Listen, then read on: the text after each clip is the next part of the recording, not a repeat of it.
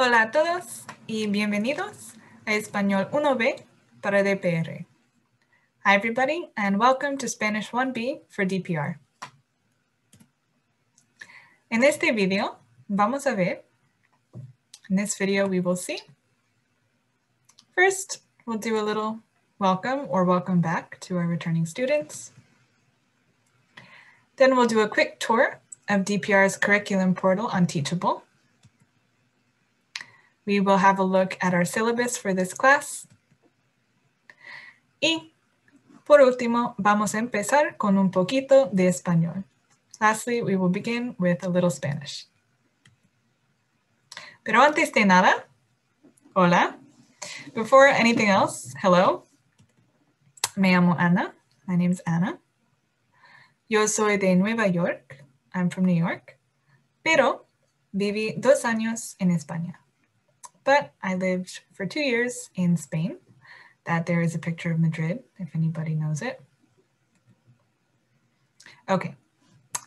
Bueno, primero vamos a ver un poco de cómo funciona el curso. So first we're going to see a little bit how our class works.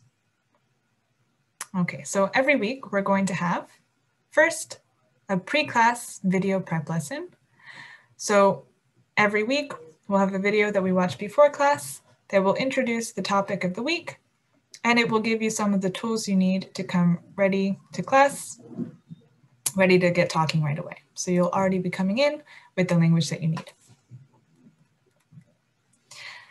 Then we will have our face-to-face -face core class twice a week. So face-to-face, -face, that means that we're going to be talking together uh, in our Zoom classroom. This will be twice a week. And then we will have a third day every week that is just for construction language practice. So we are really going to focus there on the, the language that you'll be using at the workplace and practicing just that. We have an online curriculum on a platform called Teachable, which is where you will find all of your course materials. And lastly, we have a class discussion board on Padlet. And we're going to look at both of those things in just a minute. Okay, so jumping right in with Teachable, I'm going to go ahead and open that page so you can see. Okay, so when you log in, let me bring us back to the main page. This is what you'll see. So we have our course curriculum. The first section here is resources for students. And the very first document that you will find is our class syllabus. So what are we going to do in the next 12 weeks? Bueno, pues semana uno, a conocernos. Week one, we're getting to know each other.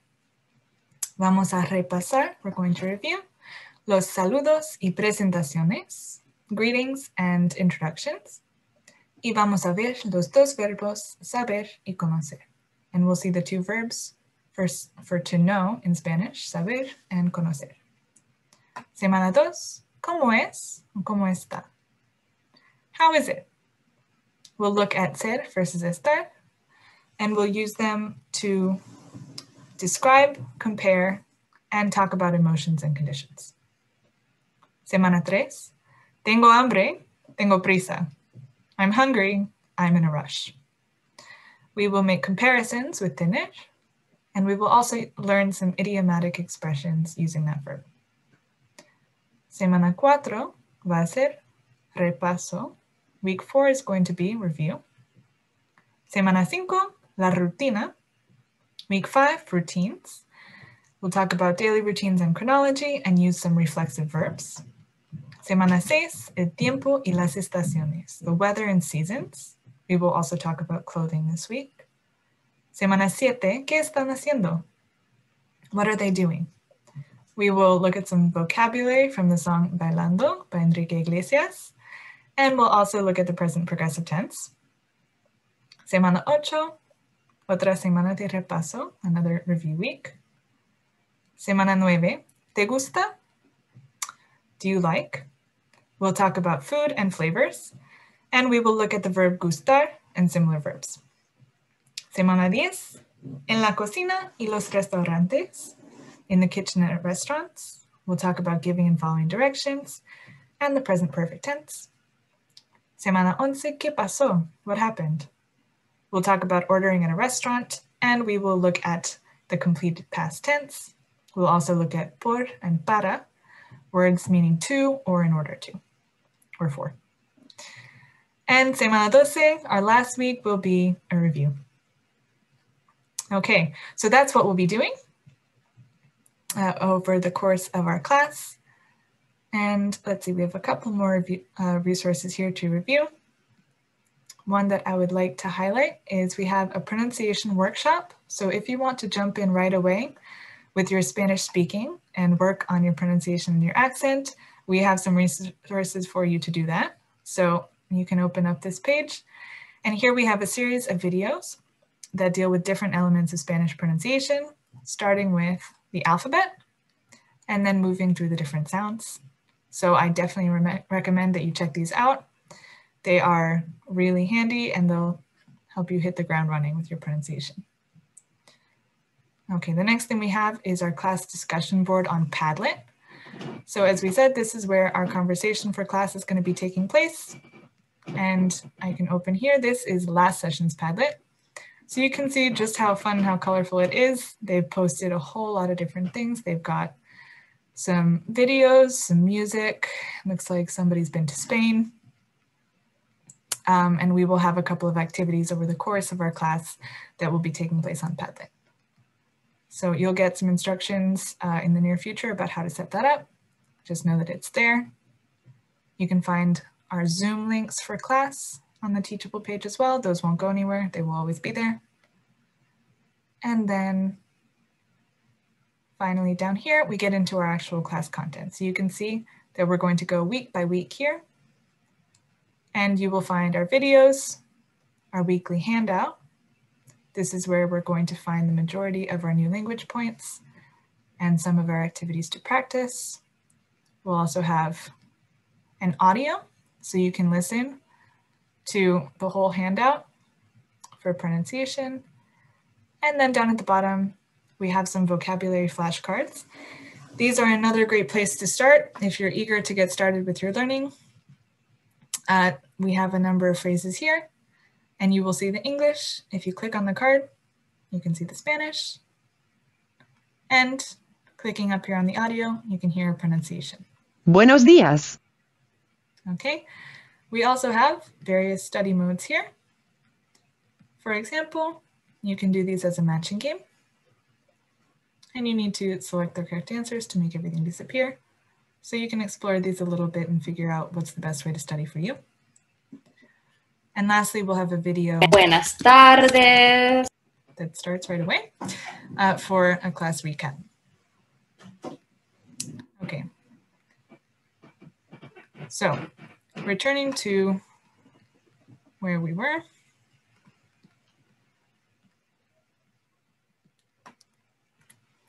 We saw our Padlet. Okay, ahora estamos listos para un poquito de español.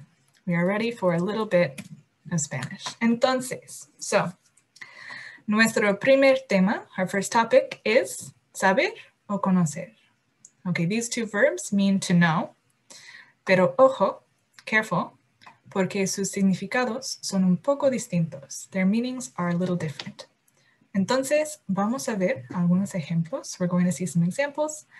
Y quiero que se fijen en las diferencias que hay. I want you to pay attention to the differences between these two verbs. Okay, our first example. Yo sé dónde está la estación de tren. I know where the train station is. Our second, yo conozco una muy buena taquería por la zona. I know a really good taco shop in the area. And our last sentence, voy a menudo porque yo no sé cocinar tacos. I go there often because I don't know how to cook tacos. Okay, good. So we have a couple of sentences with ser, a couple with conocer. So, ¿qué diferencia hay? What's the difference? Okay, so saber, we're going to use in two different contexts. The first is when we're saying we know facts or information, right? So my sentence about the train station was this type of sentence. Yo sé ¿Dónde está? I know where it is. That's information. We can also use saber to talk about skills or abilities. So when I say I know how to do something, like for example, yo sé conocer, con, excuse me, cocinar tacos, I know how to cook tacos. That's this use of saber. On the other hand, we have conocer. Conocer can mean kind of like to meet a person or to get to know a place, like a city. Oh, excuse me, that's a second. So to, to get to know a person, yo conozco al presidente, or to be familiar with a place. Yo quiero conocer Argentina, or yo conozco una buena taquería. Okay, so saber, we have facts, information, or skills, and conocer, we have meeting a person, knowing a person, or knowing, being familiar with a place. Okay, ahora te toca. It's your turn. For each sentence here, should we say saber o conocer? Okay, first, yo sé o yo conozco a unas personas de Cuba. So I know some people from Cuba. Yo quiero saber ese país o yo quiero conocer ese país. I want to get to know that country. Yo sé que el béisbol es muy importante ahí. I know that baseball is very important there. Pero yo no sé o no conozco jugar. But I don't know how to play. Okay. So, si quieren, if you want to, pon en pausa al video, put the video on pause, and go ahead and figure out your answers, and then we will check. Okay. So I'm hoping you had a chance to, to look at those, and here we go. Okay, primero, yo conozco a unas personas de Cuba. I know some people from Cuba. We're going to say conocer for people. Yo quiero conocer ese país. Okay, to get to know the country. Again, we're using conocer. Yo sé que el béisbol es muy importante ahí. Okay, baseball is important there. That's a fact, so I'm going to use saber. And lastly, pero yo no sé jugar, but I don't know how to play. That's a skill, so again, we'll use saber. Ok, excelente. Pues eso termina nuestra primer, primera lección. That finishes our first lesson. Y ahora vamos al Padlet para presentaciones. We will do some introductions on Padlet. So when you have your account set up, you can go ahead and make your first post answering the following questions. Primero, ¿cómo te llamas? What's your name? Okay. Segundo, ¿de dónde eres? Where are you from? And lastly, ¿dónde vives ahora? Where do you live now? Okay. And I'm realizing now that we should give you some language to answer these questions. So just a moment. Okay, so for our first question here, ¿Cómo te llamas? You can say, Me llamo. My name is. For our second question, ¿de dónde eres? You can say, Yo soy de. I am from. And our last question, where do you live now? You can say, ahora, now. Vivo en. I live in. Okay. Excellent. Bueno, entonces, Antes de nuestra clase, what do we have to do before class? First, read your welcome email from FLC. You should uh, make sure that you have that. It'll have some important information to get you set up for class. Second, access your Teachable and explore your new curriculum and resources. So go ahead and sign in there and see what you can find. Um, third, post on our Padlet, okay, just as we saw. And lastly, you can get started with those week one vocabulary flashcards that we saw. Just a reminder that's on the Teachable page and you can get started practicing. Okay, hasta aquí bien. I'll get up to here. Gracias um, y Nos vemos el lunes en clase. Thank you, and I'll see you all on Monday for class. Okay, hasta entonces. Adiós.